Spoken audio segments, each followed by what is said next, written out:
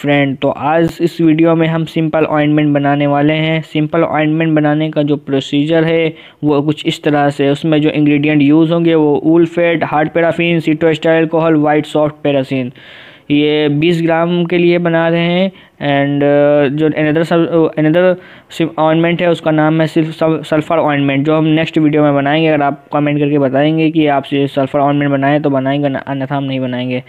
तो so let's begin to start सबसे first of all हम लेंगे hard paraffin in china dish and नीचे वाटर इलेक्ट्रिक वाटर बात है, जिसकी स्टीम से चाइना डिश चाइना हीट करती हीट होती है। गर्म होती है, जिससे कि केमिकल को मेट करने में आसानी रहती है एंड इसके बाद हम अनदर सब्सटेंस लेंगे मींस इंग्रेडिएंट्स लेंगे, वो है सीटो सीटोस्टाइल एल्कोहल ये एल्कोहल उस क्रिस्टल फॉर्म में होता है। इसको भी हम हार्ड पैराफिन के साथ मिक्स करेंगे। ये भी ज़ीरो पॉइंट फाइव ग्राम की, ग्राम लिए बीस ग्राम के लिए बना रहे हैं ना तो उसके इस हिसाब से क्वांटिटी ले रहे हैं।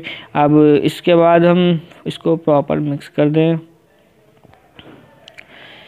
प्रॉपर मिक्स करने के बाद हम इसमें लेंगे ऊल फेट जो जनरली येलो कलर का होता है। अभी दिखाते हैं, ये छुट जा, छुट, ये छुट।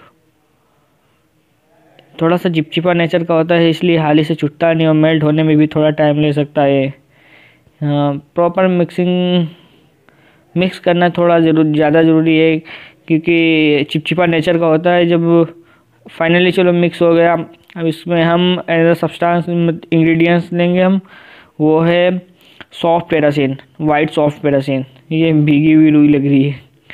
इसको भी हम उसी में मेल्ट करेंगे। और फाइनली इसके बाद हमारा प्रोडक्ट बनके तैयार हो जाएगा जो कि सिंपल ऑइनमेंट है। मिक्सिंग मिक्सिंग प्रॉपर होनी चाहिए। आ, मिक्स करने के बाद तो दोस्तों ये हमारा सिंपल ऑइनमेंट बन के तैयार हो गया। तो मिलते हैं नेक्स्ट वीडियो में तब तक के लिए जय हिंद जय भारत।